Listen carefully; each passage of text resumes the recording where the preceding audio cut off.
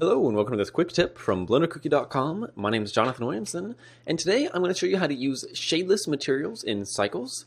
Shadeless materials are pretty handy from time to time.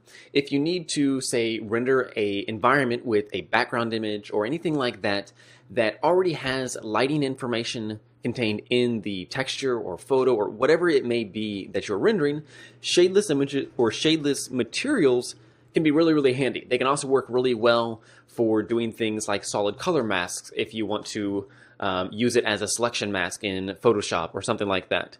And in the Blender internal, this was really easy. It's literally one button in the material properties to enable shadeless. Well, with Cycles, as many of you have discovered, there's, you know, Cycles is much more powerful than the Blender internal engine for getting more realistic results, but it's not necessarily as straightforward as far as, you know, it's not just press this button, get that result using the node network and or the material properties, it can be you know a little bit more cumbersome, but much more extendable by uh, within cycles. So I'm going to show you how to create a shadeless material. And what I'm going to do is I'm first just going to go to File and Import, and I have the Images as Planes add-on enabled, which is found under the Import category. And I'm just going to enable import this image right here, which is a screenshot of Eat Sheep as it exists today. Uh, Eat Sheep is still heavily under development, but it's making progress. And we're just going to assume for now that, you know, we want to throw some Eat Sheep screenshots into our scene, whatever that scene may be.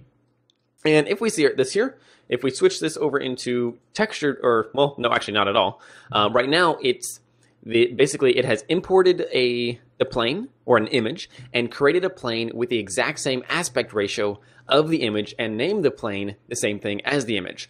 So what we not need to do is we're just going to go over to the materials and you can see it's created a material, but the import images as planes is not set up for the cycles render yet. If you were to switch this over to Blender render, then you can see that works just fine. And here's our screenshot.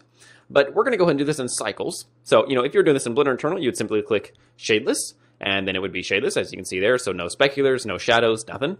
But let's switch this back over to cycles and let's go ahead and click use nodes to set this up. And let's immediately just switch the color input here to an Im image texture and we'll just choose the eat sheep image right there. So that way it shows up when in texture view or in material view, where texture, um, I believe, shows a little bit of shadowing, whereas material does not. And now we need to make it shadeless. So if we were to go ahead and switch this over to rendered view right now, you can see that we have some, well, right now it's pretty dark because we don't have much in our environment to light it. So real quick, I'm just going to enable under my world buttons, enable use nodes, and I'm going to just enable a sky texture. This way it's just using a basic sky texture, which when I'm in perspective mode, you can see it like that, and all's fine and dandy but you'll notice that our material is still not shadeless. One, it is receiving noise because light is bouncing on and off of it. We want to basically say, hey, I want this to look exactly like the photo no matter what. So what we're going to do is we're going to split our view and we're going to switch this one over here on the left or on the top to be our node editor. And here in the materials, we need to go ahead and change a few things. And oh, by the way, if any of you are wondering why my Blender interface looks different than yours as far as colors, it's because I'm using the Modo theme that is available with Blender 2.62 and up. Uh, and so if you don't have that, then you can go ahead and just switch it under themes and you'll be all good to go. All right, um, so what we want to do to set up an emit or a, a shadeless material, this is basically going to work by telling it to be a light source or an emission source but to not actually emit light onto any surrounding objects and basically be self-illuminated. The way this works is we're going to remove our diffuse shader, then we're just going to hit Shift A, add in a shader emission, and then we can just select this one and then this one, hit F, this one and this one, hit F, and that will fill the two. And now you can see that, well, it actually looks like it's shadeless, but if we were to say add in a cube right here, you can see that it's actually being being lit from the bottom by the emission plane. Well, we don't want that because we want it to be completely shadeless. So the way that we make it shadeless and not to emit light onto any other objects is using both light paths, light paths and a mixed shader. Light paths, which you can find by hitting Shift A and choosing Input and Light Path, is basically a way that we can restrict light bounces within cycles for a specific material or an object to exact things. So we can say, um, all right, I want this light path to only reach the camera and not actually touch any other objects. Or I can say that I want this light path to be invisible to reflective surfaces or anything like that. So if we just choose light path, this inputs this, and we can see light path is camera ray, shadow ray, diffuse ray, glossy ray, etc. And if we were to go ahead and just input this in and say, all right, is camera ray pointed into strength? Well, this should actually, um, I believe, actually turn black, although it didn't do exactly what I expected. Um, so we're going to go ahead and just remove that because what we want to do is for the shadeless material, we're going to hit Shift A and we're going to add in a shader and a mix shader and then just drop this on top of here.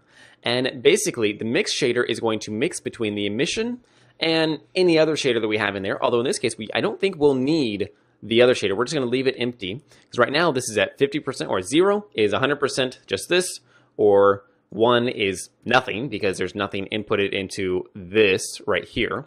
So what we want to do is take this back to zero and say, is camera ray such that it's going to mix these two to make them visible only for what the camera can see. So if, you know, as this is bouncing back to the camera, it's only going to get this input. So if we switch this down to there, then we have a shadeless material. So if we hit Shift A, add in a cube, move this up, scale it down, just move it over there, you'll notice it is no longer being illuminated from the bottom and all is fine and dandy. So now you could use this, oops, wrong one.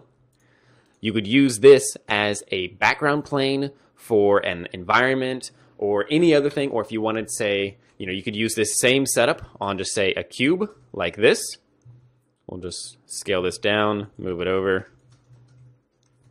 So you could just create a new material, delete this, add in a shader and an emission, connect that there, drop in a mix shader, connect that, add an input and a light path, and connect this to there, flip these around, and just go ahead and make this any color you wish, and you have a completely shadeless material that then, you know, if you wanted to use this as a, a selection mask in Photoshop by using a select color or in GIMP or anything like that, you know, another great use of the shadeless material uh, for any kind of post-processing and things like that. So that's how you set up shadeless materials in Photoshop um, to compare, or excuse me, excuse me, in Cycles, not in Photoshop.